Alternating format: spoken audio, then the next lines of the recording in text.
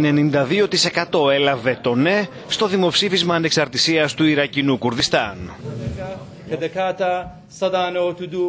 Η ανακοίνωση έγινε δεκτή με ενθουσιασμό από τους Κούρδους, όμως προκάλεσε την άμεση αντίδραση της Βαγδάτης.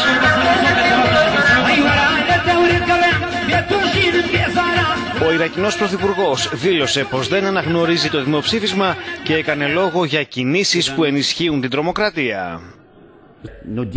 Καταδικάζουμε κάθε προσπάθεια εξάπλωσης του ρατσισμού. Η διχοτόμηση και ο διχασμός αποσκοπούν στην επιστροφή της τρομοκρατίας. Στο παρελθόν, οι τρομοκράτες κατάφεραν να εκμεταλλευτούν τις διαφορές μας. Ο Μασούντ Μπαρζανί δήλωσε ότι δεν θα κηρύξει μονομερό στην ανεξαρτησία του Ιρακινού Κουρδιστάν, ενώ σημείωσε ότι επιθυμεί διάλογο με τη Βαγδάτη με στόχο ένα ειρηνικό διαζύγιο. Τουρκία και Ιράν τάσσονται κατά της ανεξαρτησίας των Κούρδων διότι θεωρούν ότι θα αντιμετωπίσουν ανάλογο ζήτημα με τους Κούρδους που ζουν στις χώρες τους.